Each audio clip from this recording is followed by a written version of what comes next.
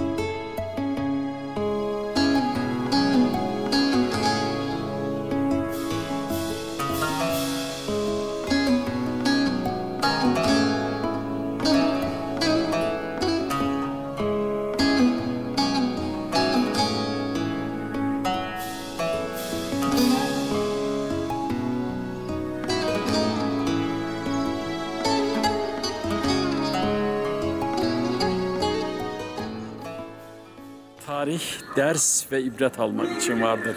Tarihi mekanlar, müzeler de tarihten ders ve ibret alınan en önemli yerlerdir.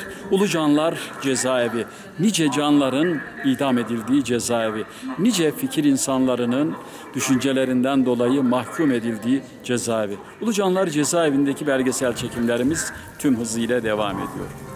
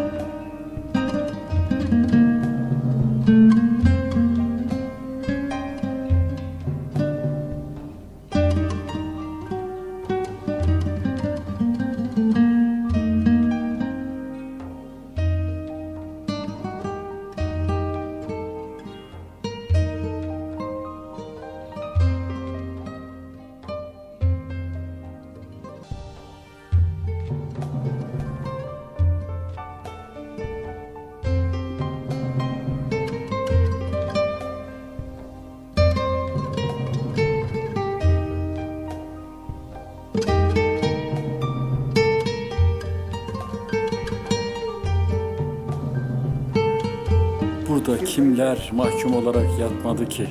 Ve tarihe canlı şahitlik yapan Ulucanlar cezaevindeyiz. Gerçekten gördüğümüz, yaşadıklarımızı oldukça etkiliyor bizleri ve burada yaşanan olayları ciddi belgeselleştirerek gelecek kuşaklara aktarmak gerekiyor. Erdal Eren çok tartışma konusu olmuştu. Hatta Cumhurbaşkanı'nın mektubuna konu olmuştu. Giresun Dernekler Federasyonu'nu buradan göreve davet ediyorum. Bu Erdal Eren'i mutlaka anmalılar.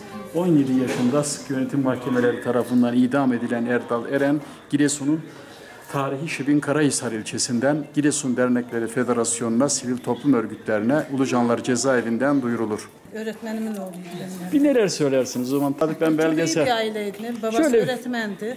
Çocukluğunu biliyorum. Şebin Karahisar'da. Evet, aynı mahalle. Nasıldı bir söyleyin o zaman. Çok sakin, sessiz bir çocuktu işte. Duygularımız nedir efendim? Bugün tarihler Vallahi 26 Çok üzüldük. Ablasıyla şu anda görüşüyoruz. Ailesi, işte annesi öldü, babası öldü.